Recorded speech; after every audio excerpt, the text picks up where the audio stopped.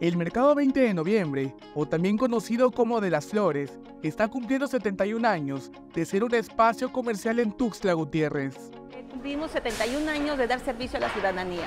Eh, eh, cada año tras año hacemos diferentes actividades. Este año, el antepasado hicimos concurso de arreglos florales en los diferentes mercados. En este año tuvimos eh, bien hacerlo de una manera participativa con los compañeros solamente. empezamos con, amenazamos con marimba, hicimos las fiestas y este, convivimos con los compañeros, dando sus obsequios. Este espacio ha significado una oportunidad de vida para las decenas de comerciantes que aquí laboran, como doña Silvia, que trabaja en este espacio desde hace más de 37 años. Pues muy feliz porque ya son 71 años que hizo y pues ya yo ya tengo 37 años acá en el mercado pues nos ha ido muy bien, gracias a Dios. Para mí este mercado significa mi familia, porque pasamos muchas horas aquí con nuestros compañeros y, todos pues nos sentimos como una familia. Cuando alguien tiene algún problema, pues tratamos de apoyar.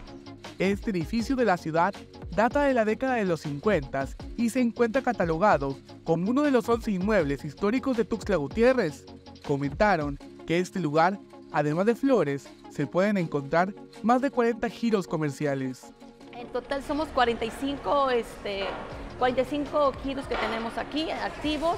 Tenemos el giro de, más que nada el mercado es conocido por el mercado de las flores, como ustedes saben, y estamos este, de las 6 de la mañana a 6 de la tarde dando el servicio.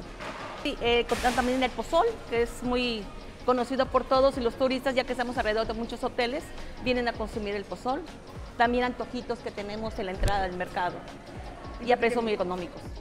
Este espacio representa un importante centro comercial y económico en el barrio de San Jacinto de Tuxtla Gutiérrez. Invitaron a visitar este y demás mercados de la capital chiapaneca.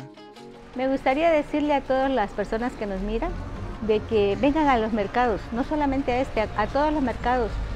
ustedes reciben atención de nosotros, mucha atención, cariño, los recibimos con calidez y sobre todo lo que les damos, todo es muy este, fresco.